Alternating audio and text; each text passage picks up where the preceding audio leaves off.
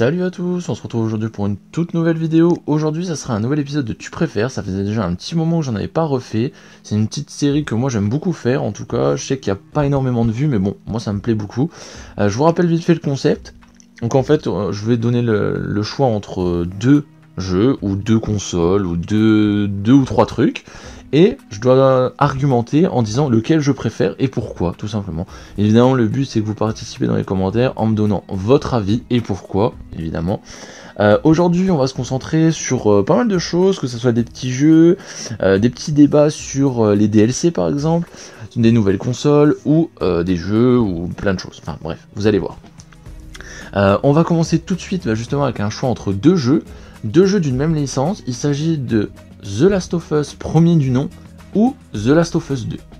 Donc pour moi The Last of Us, je pense j'en ai beaucoup parlé déjà. C'est une des licences de chez euh, Sony que j'aime le plus. Voilà, une de celles en tout cas. Euh, Naughty Dog c'est vraiment euh, voilà pour moi les meilleurs. Donc à savoir que The Last of Us 1, moi j'avais déjà beaucoup aimé, mais j'avais eu beaucoup de mal à me lancer dedans parce que c'était une nouvelle génération. Euh, parce que je l'ai fait sur PS4, je l'ai pas fait sur PS3, j'ai attendu pas mal de temps, parce que j'aimais pas trop les jeux d'horreur. Donc euh, quand on voit les trailers, il y a quand même beaucoup de zombies, beaucoup de trucs qui font un peu flipper, moi c'est pas trop ma cam de base. Et euh, finalement je l'ai lancé un jour, je me suis dit bah allez, go, j'ai adoré. Évidemment, j'ai flippé sur beaucoup de moments, c'était plus de l'angoisse que du flip vraiment, mais voilà. Et j'ai trouvé l'histoire incroyable, le gameplay était super bon, vraiment génial. Donc évidemment, quand un Last of Us 2 a été annoncé, j'étais complètement refait, je l'ai attendu, j'ai pris le collector, je l'ai pris Day One, etc., etc., etc. Et je l'ai fait tout de suite. Et j'ai adoré aussi, vraiment l'histoire est incroyable et tout. Donc pour moi c'est déjà deux pépites. Il n'y a pas vraiment de grosse différence entre les deux. C'est vraiment une histoire continue où euh, il y a ses forces et très peu de faiblesses pour moi. Mais niveau d'histoire par exemple, c'est excellent du début à la fin, du 1 au 2. Euh, c'est excellent au niveau du gameplay. C'est pas révolutionnaire, mais c'est excellent, c'est très bien foutu. Euh, le système de craft, par exemple, moi je trouve ça génial. Donc si je devrais donner un avis, je donnerais la priorité au 1. Pourquoi? Première chose, c'est là qu'on on a la vraie découverte, puisque on a euh, l'histoire entre Joël et Ellie, on a la découverte du monde et tout ça, donc ça, c'est déjà sympa. Euh, à l'époque, il y avait un online dessus. Maintenant, il est venu plus tard, donc peut-être qu'il viendra aussi dessus sur le 2. Ils ont fait un petit DLC qui était incorporé à la version PS4, ça j'ai trouvé génial. Et le DLC était vraiment très sympa, qui apportait un peu à l'histoire. Et euh, en termes d'heures de jeu, c'était 2-3 heures. C'était pas exceptionnel, mais c'était déjà pas mal. Franchement, ça se démarque vraiment de très très peu parce que le 2, ça a été une claque monumentale pour moi où euh, l'histoire m'a vraiment emmené avec et m'a vraiment euh, subjugué. Donc je choisirai le 1, mais vraiment de très très peu. Donc voilà, pour le premier choix. Ensuite, on enchaîne avec là un petit débat qui est, euh, on va dire, d'actualité. Il s'agit de deux consoles, donc de la next gen ou de la current gen, ça dépend comment vous vous placez, entre la PS5 et la One X. Donc qu'est-ce qu'on, qu'est-ce qui me plaît le plus? Donc moi perso, PS5, ça, il n'y a pas trop de débat. Problème sur ces nouvelles consoles, c'est qu'il n'y a pas de jeu. Faut pas se le cacher, niveau exclu, il n'y a rien. Il y a, Demon Soul, il y a Ratchet qui va arriver, Returnal, et ça s'arrête là. En vraie, vraie, vraie exclusivité. Euh, franchement, il n'y a, a, rien d'autre, quoi. L'Astrobot qui est fourni dedans, et chez Xbox, voilà. c'est le néant, complet. Donc, en soi, moi, si je compare les machines, ils sont sensiblement équitables, hein, faut pas non plus se cacher, c'est de la nouvelle génération, voilà. Ça, il n'y a pas trop de soucis. Moi, c'est plus pour les jeux qui vont arriver, donc c'est pour ça aussi que ça ne m'intéresse absolument pas de l'acheter pour l'instant. J'attends d'avoir déjà un catalogue de jeux un peu plus fourni pour déjà me lancer dedans. Évidemment, de toute façon, c'est une galère à avoir, vous le savez, euh, je le sais, tout le monde le sait, mais j'essaie même pas d'en chercher. Hein. Très honnêtement, euh, ça viendra quand ça viendra, peut-être fin d'année, peut-être début d'année prochaine. Je pense que pour cette année c'est un peu mort au niveau stock, ça va être déjà une, galère. Même en été, ils en parlent d'avoir plus de stock, mais je suis pas sûr. Donc voilà, pour moi ça sera PS5, mais plus pour les exclusivités. Euh, comme toujours, je, je, suis resté longtemps chez exclusivement Sony, parce que les jeux me plaisaient beaucoup plus. J'ai acheté une Xbox euh, il y a quelques années, je la lance de temps en temps, mais euh, voilà, c'est que pour les exclusivités, et ça me permet aussi de faire de la 360 et des jeux d'avant aussi. C'est ça aussi l'avantage que n'a pas la PS4 et euh, les, autres consoles Sony. Donc voilà, pour moi, PS5.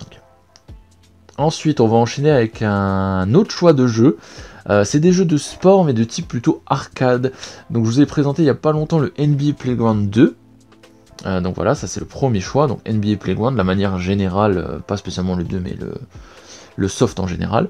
Ou FIFA Street. Voilà, deux jeux, deux jeux de sport complètement arcade, euh, qui sont très fun d'ailleurs pour les deux. Donc pour moi, ça sera un peu nuancé sur ce choix-là.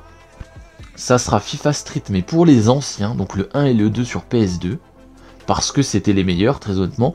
À partir du 3 sur PS3, c'était déjà beaucoup moins bien. Euh, le reboot qu'ils ont fait aussi sur PS3, moi j'ai pas, pas trop trop kiffé. Le mode Volta sur FIFA 20 euh, ou 21, j'ai pas aimé non plus. Donc les vieux FIFA Street, sinon NBA Playground, franchement j'ai été quand même assez agréablement surpris quand je vous ai fait le test. C'est un jeu qui est vraiment pas mal foutu.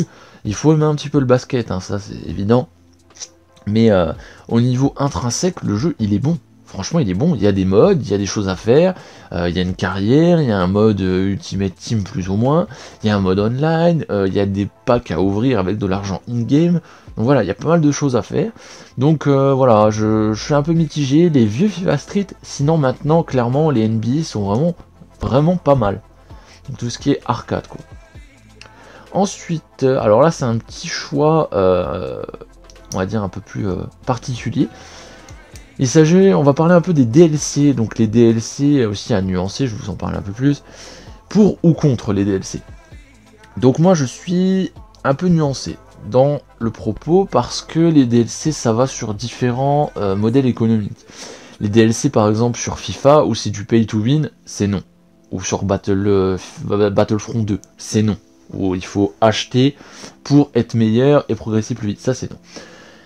Les hum, DLC par exemple dans les jeux de combat où il faut payer 2 euh, balles le combattant, comme ils font très bien chez Capcom avec les Street Fighter, avec euh, plein de licences comme ça, c'est non. Clairement, c'est non, c'est non, c'est non. Le truc aussi qui me dérange dans les DLC, c'est par exemple quand euh, nous allongent des. ils nous annoncent déjà des packs d'extension alors que le jeu n'est même pas encore sorti.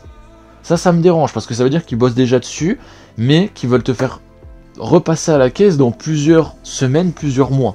Ça, ça me dérange aussi.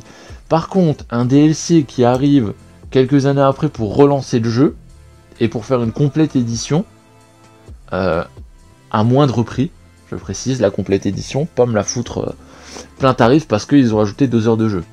Voilà, ça c'est aussi le problème. Par exemple avec le euh, Super Mario 3D qu'ils nous ont refait là, avec le, le Fury. Voilà, ça c'est bof. Parce qu'ils nous ont mis plein tarif. Mais par exemple, un Little Nightmare, quand ils nous ont fait une complète édition, c'était 25 euros. 20 euros. Voyez Donc là, je dis oui.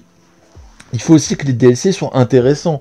Parce que nous sortir, par exemple, sur le Little Nightmare, euh, il y a une heure et demie de jeu où ils ont quasiment rien changé. Ils ont changé le personnage et ça s'arrête là.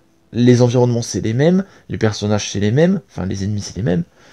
Bah voilà, c'est juste rajouter de la, enfin, de la durée de vie et encore, puisqu'il dure une heure et demie, deux heures. Donc ça bof aussi. Si c'est un truc qui apporte à l'histoire, qui nous donne quelque chose en plus, je dis oui. Exemple complètement différent, mais le Infamous, euh, le First Light qui nous est sorti en boîte en plus, à 15 ou 20 euros, je dis oui. Le Miles Morales, je dis oui.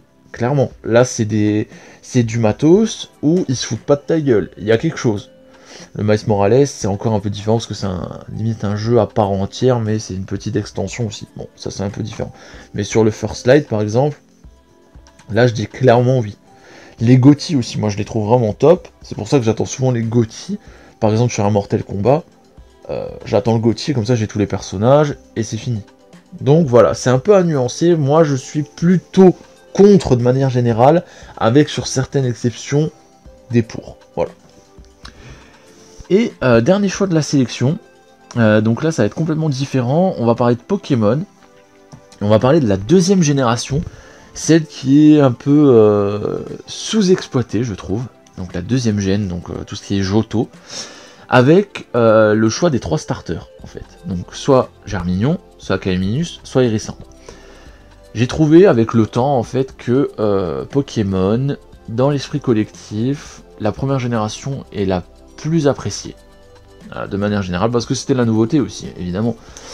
Mais on parle beaucoup moins de la deuxième. Je trouve qu'on parle par exemple soit plus des derniers, évidemment avec bouclier épée, ou bien euh, des noirs blancs, des choses comme ça. Mais on oublie un peu la deuxième génération, qui était pour moi une des meilleures, clairement, au même niveau que la une. Je trouve que les premiers arcs de Pokémon sur, euh, les dessins animés, c'était excellent. Les trois premières saisons, même la quatrième, c'était clairement bah, les meilleurs.